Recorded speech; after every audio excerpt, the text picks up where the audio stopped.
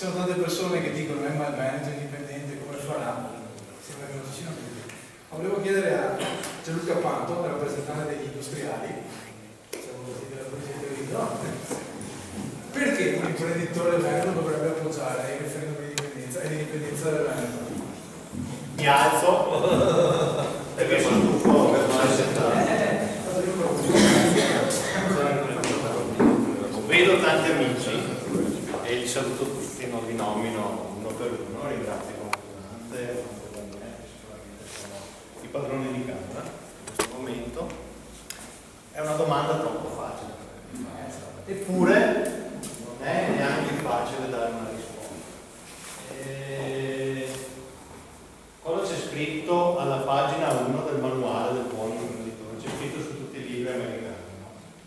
soldi muovono l'imprenditore, il profitto, no, assolutamente. C'è la voglia della realizzazione personale, del divertimento, c'è la passione e c'è soprattutto la volontà di essere giusti. Questo è quello che muove l'imprenditore. Certamente anche il profitto, ma il punto centrale è la volontà di essere liberi. Possiamo noi essere liberi all'interno di questo Stato italiano? Non lo so. Io guardo la campagna lanciata da Alessandro Guardani, che sappiamo che è la fabbrica qui, presidente dell'industriale di Treviso. Montebelluna è una città industriale, inutile negarlo, eh, scarpe e tutto il resto.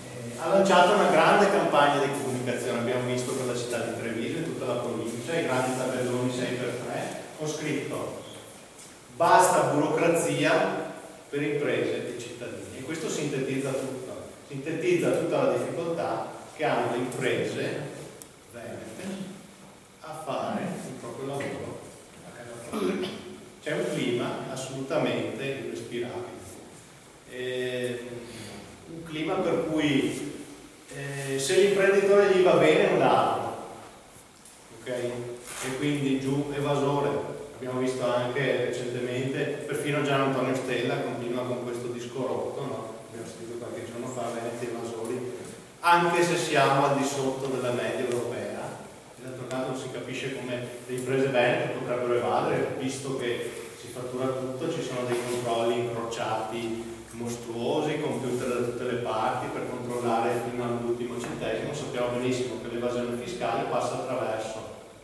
la mafia e la criminalità, che non sono, almeno per il momento, bene, che non appartengono alla cultura di Milano. Quindi, eh, se ti va bene sei un ladro, se ti va male sei ti sta bene. Questo è il clima che stiamo respirando noi, i creditori in questo momento.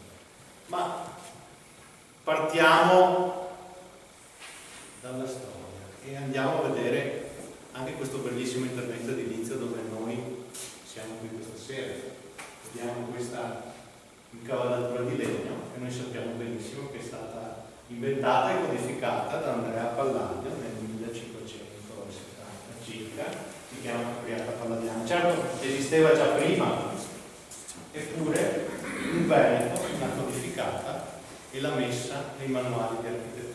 Come perfino questa colonnina, che probabilmente è una colonnina abbastanza povera, perché questo era un edificio per lavorare, vediamo che è fatta in una grandissima maestria perché ha un basamento più largo, poi è più affusolata, si allarga, quindi c'è un capitello, poi c'è un pulmino. Ebbene, la prima persona che ha codificato la colonna come deve essere fatta, un po' più larga sotto, più stretta, e col capitello sopra, è stato l'architetto romano vissuto dall'80 al 20 avanti Cristo che si chiamava Vitruvio e non è un caso se questo signor Vitruvio fosse nato a Verona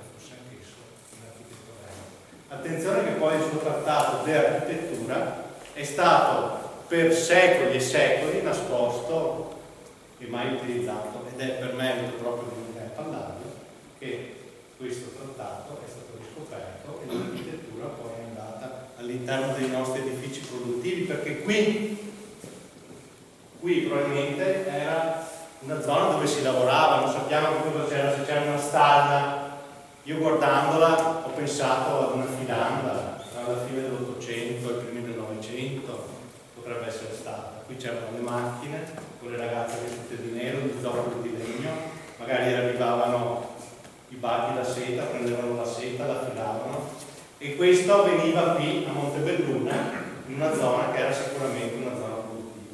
Questo siamo noi belli, siamo delle persone abituate a lavorare e quindi questa domanda non è una domanda fatta a caso, qui noi dobbiamo essere pronti a rispondere in qualsiasi momento. Ho visto Bruno Vespa l'altro giorno in una trasmissione televisiva nazionale che diceva eh, ad un rappresentante della Lega Nord, io non sono leghista, però qui sono Salvini, sono ma perché? Salvini diceva adesso i Veneti faranno l'indipendenza, ma perché volete fare questa cosa? cosa?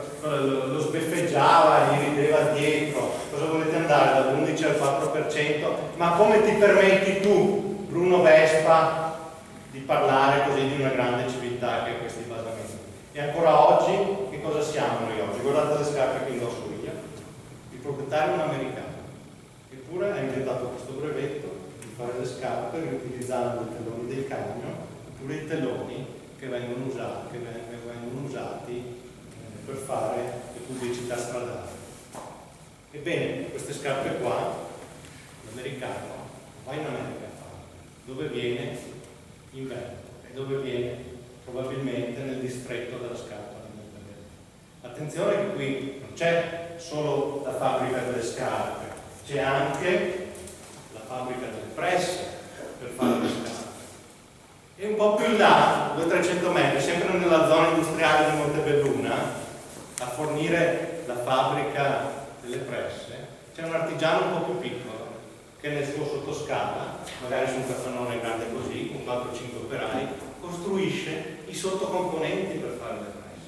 Questo siamo noi, caro signor Bruno Vespa, che prendi in giro i veneti e che ci relevi del provincialismo che non ci spetta e non ci appartiene.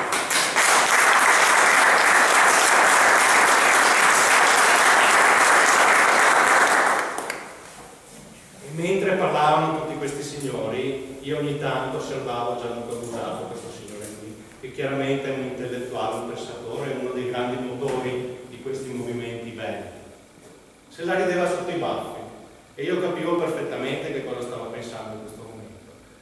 Stava pensando al fatto che qui avevamo un consigliere regionale, non un consigliere regionale qualsiasi, sicuramente un consigliere regionale molto influente molto influente e che esattamente lì avevamo un consigliere provinciale credo molto influente che ha partecipato a questa nostra assemblea che cosa significa questo? significa una cosa molto importante prima è stato citato De Gasperi no? il grande statista che portò il Trentino nella condizione di avere l'autonomia l'autonomia che a volte noi viviamo noi ebbene dobbiamo pensare che De Gasperi certamente è stato un grande statista, ma ricordiamoci che nel 1947 a Trento sono scesi in piazza in due o tre manifestazioni, 20, 20 o 30 mila persone, che furono portate in piazza da un'associazione come il plebiscito 2013, si chiamava ASA, Associazione degli Studi Autonomistici Regionali. Che cosa significa questo? Che c'era un movimento di intellettuali che aveva studiato l'autonomia, l'aveva messa nero su l'aveva discussa in assemblee come questa e alla fine aveva portato la gente in piazza nel 1947 e nel 1948 il Trentino ottenne lo statuto dell'autonomia. Ebbene quello che noi stiamo facendo questa sera è esattamente la stessa cosa non si chiama più ASA, perché non siamo a Trento, si chiama per esempio plebiscito 2013.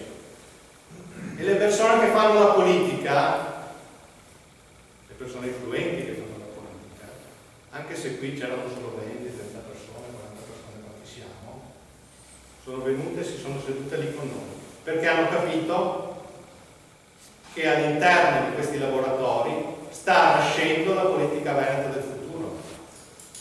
Che qui queste persone e anche voi, perché tra voi vedo anche delle persone che fanno politica attiva, che parlano nei convegni, che pensano e portano delle proposte. Ebbene, in questa assemblea c'è